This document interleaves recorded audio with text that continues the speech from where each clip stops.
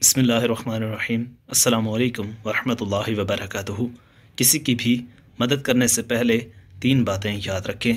آپ جو بھی دے رہے ہیں، وہ اپنی جیب سے نہیں، بلکہ اللہ کی عطا کردہ نعمت میں سے دے رہے ہیں۔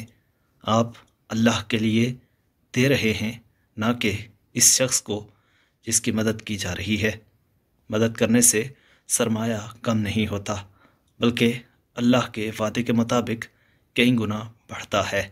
تو یہ تین باتیں جب ہمارے دماغ میں ہوں گی، تو یقیناً ہم اللہ کی عطا کردہ نعمت کا شکرانہ بھی ادا کرنے کے قابل ہوں گے۔